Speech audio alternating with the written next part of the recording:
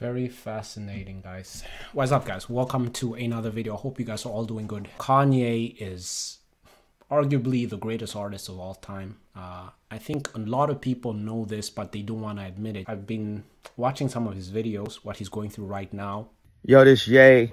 We just sold out the United Center in seven minutes. And I just wanted to express to everybody out there to see if it's anyone that can help with this. It's the only arena that I had access to in the past year. And when I call, people say there's no avails for me. And you know why that is. So if there's anybody out there that can help with this, please do. Just studying him and the way he has been moving, because I think that Kanye has done a lot that has pushed us as black people forward. Uh, and uh, this is going to be somewhat of a review for his new song Vultures. Uh, I just watched the music video and I think it's the most beautiful music video that I've ever seen. Uh, artistically, he's always been there. And I've said this so many times about Kanye West, like he is the greatest artist of all time. Uh, but I do think that the song Vultures itself is just not there. Um, it's not trash, but it's it's Kanye looking for himself. Everyone, it is with great pleasure that I can say we have made it to what will likely be the best and most satisfying day of this entire Vultures rollout, following the constant waiting, delays, and trolling we've had to endure so far, because we are finally getting our hands on Kanye's first Vultures volume since it was initially promised to us way back in December of last year. But I think this album release is all but guaranteed at this point, and we did get some late night news further confirming my suspicion. At around 5 a.m. Eastern Time last night, the Apple Music listing for Vultures Volume 1 was removed, not just wiped, but taken down entirely, which means that Kanye and Ty are officially updating at least the track list and maybe also the album cover art. I'm like 99% sure they're gonna stick with the Gosha Rubchinskiy designed Burzum inspired art, but on the off chance that changes, it would be done when the album is reposted to streaming services. When it comes to Kanye's catalog,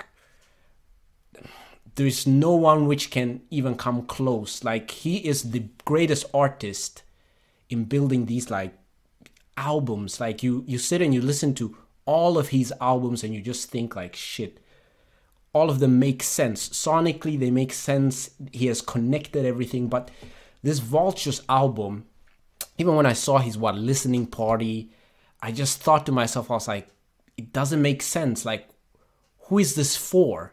And I want you to try something when you listen to the song. Just listen to it and just like you you can't really remember what he's saying in the song. Like every single Kanye album has always had some form of purpose or he's trying to solve something or he's going through something, then he puts it in the music. 808 and Heartbreaks, I think that was a breakup album. The I would say the the most impactful album of our generation um, and it created so many subgenres when it comes to hip hop. So that is my personally my favorite Kanye West album. Friday is the date that we're supposed to get the new Kanye West album.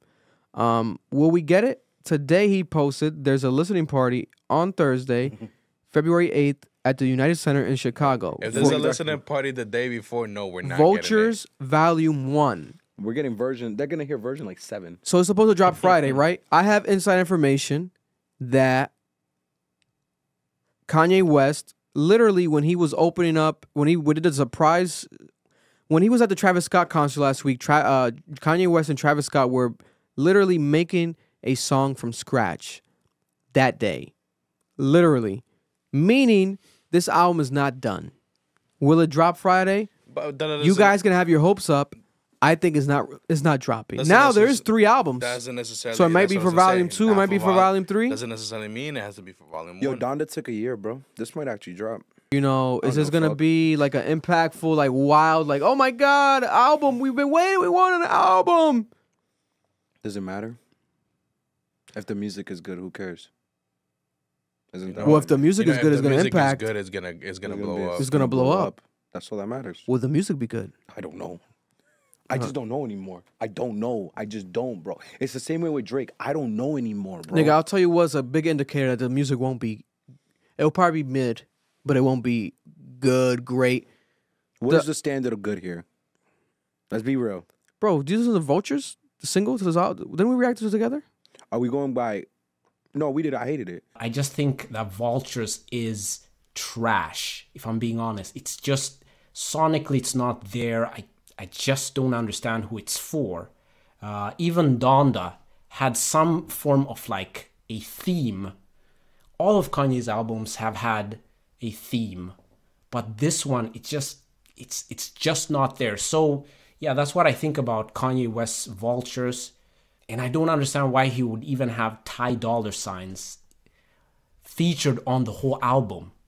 I'll get maybe two, maybe three songs, but why are you featuring him? And his Ty Dolla Signs is not even like the best of the best. I would want to see a Drake and Kanye West album. I would love to see a Burna Boy and Kanye West album. Now is the time for Kanye West to move to Africa because I know he's been complaining a lot about how they have been treating him in America.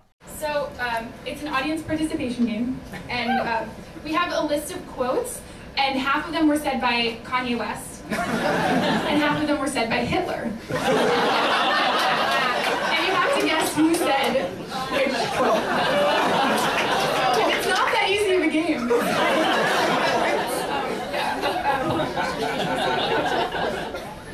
Uh, okay, how about, okay, here's the first one. When a man is starving in the streets, he's not thinking of bread and water, but of caviar and champagne.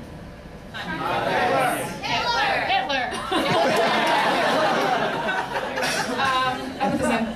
I stand here as a revolutionary. It is as a revolutionary against the revolution.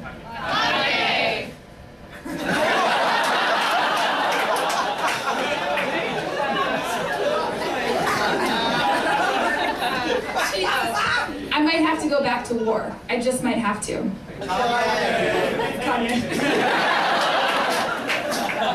Um.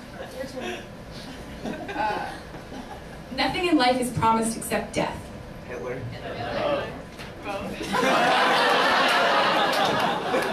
Their quotes are so similar. It's really weird. Um, I realize that my place and position is, in history is that, well, that I will go down as the voice of this generation of this decade. That I will be the loudest voice. Oh. Could easily be Hitler. Um, You're right. Uh, who says I am not under the special protection of God?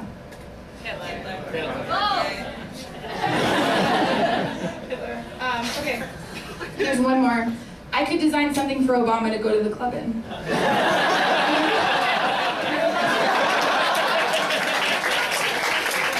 Think of this if Kanye was to move to Africa right now, he would be untouchable. Now you can film whatever you want. He has enough money to relocate to Africa. I know it will be maybe difficult with the kids and all of that, but maybe even a year, two years, just pair up with artists there. I understand where we're heading right now. Everybody's starting to do like what Afro pop and Amapiano is the next wave, right? And Kanye has always been ahead. He's he's always understood like when the trends are about to start and when to jump off that trend and go to something else, but I'm not I'm not hearing it on this album. There's so much to say. There's so much you have to be careful about saying. But why am I talking about it if, if I feel so conflicted? Well, I mean, this is a major moment in music. Every single thing that he does is a major moment in pop culture, a major moment in American history. It, it truly is.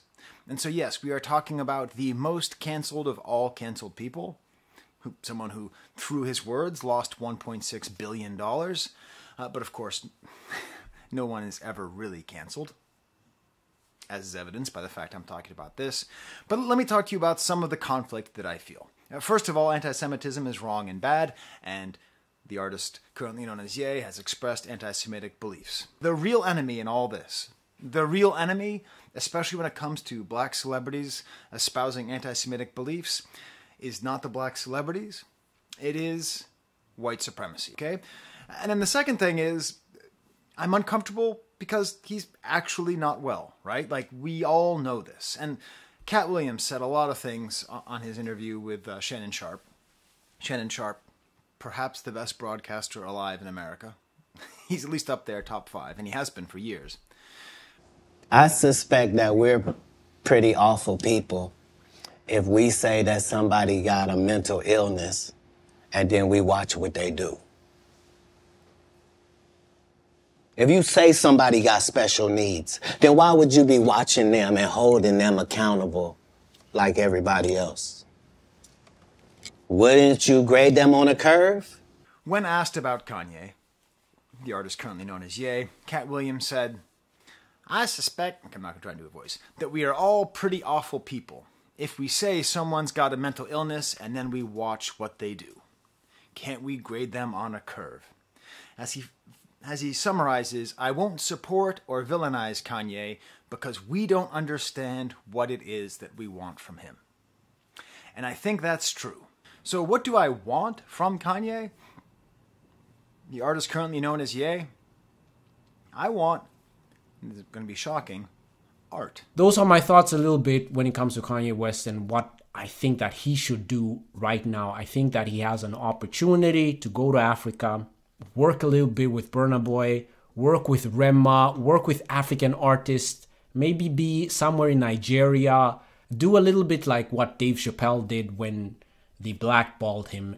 Rebuild yourself, like come with something new because I feel like Kanye is like he's so ahead of his time and you can see that what the visuals are perfect. But it's there's just something that is not connecting